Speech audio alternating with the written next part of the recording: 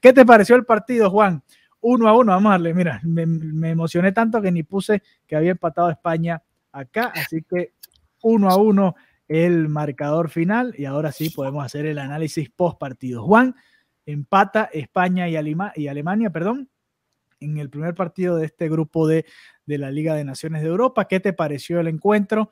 Eh, lo mejor y lo peor de cada equipo el día de hoy.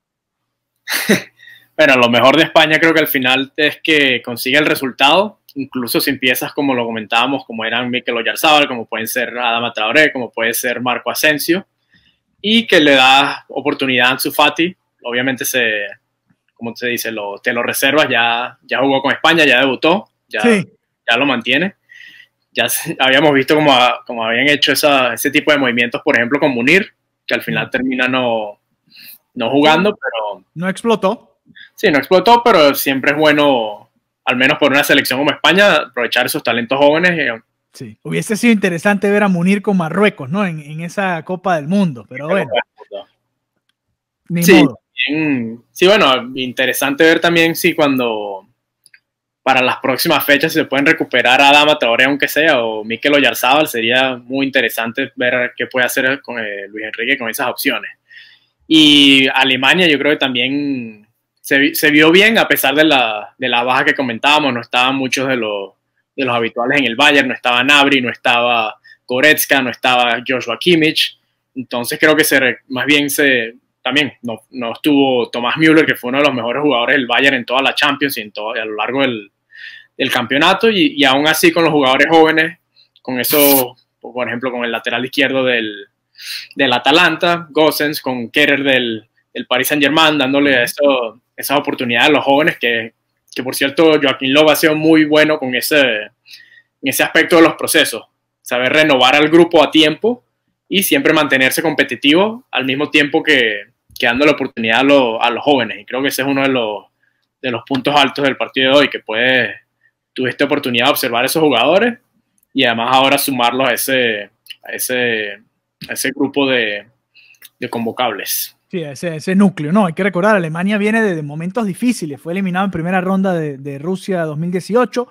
descendió en esta Liga de, de, Naciones en la edición pasada, descendió entre comillas porque se sigue manteniendo en el grupo A y ahora, bueno, está empezando un nuevo proceso, dándole la oportunidad a esas figuras jóvenes. Ya vamos a repasar cuál es el calendario para España y para Alemania a partir de ahora. Ucrania terminó ganando 2 a 1 allá en casa, gol de eh, Sinchenko al minuto 68 fue la diferencia, así que eh, queda líder del grupo Ucrania. Ojo con Ucrania y se termina metiendo aquí después de este triunfo, hay que recordar, eh, son seis fechas, es como, eh, no es como el Mundial que juegan tres fechas, es como la Champions League, para que tengan una idea, se juegan las seis fechas completas, tienen que jugar contra cada uno de los equipos en un par de ocasiones, por ahora Ucrania líder de grupo con tres puntos, Alemania y España con uno y cierra Suiza sin puntos el día de hoy. A ver, ¿qué le queda, qué, o qué le viene, mejor dicho, a, este, a estos dos equipos?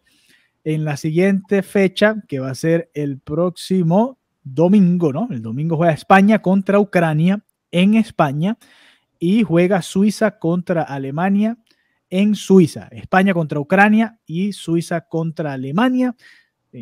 Como ya les decía, en España y Suiza van a ser los siguientes partidos, así que este domingo van a poder volver a ver a la selección española y, y, y Alemania también, que es muy interesante verla todo el tiempo. Así que esta doble fecha termina el domingo para estos equipos que jugaron hoy.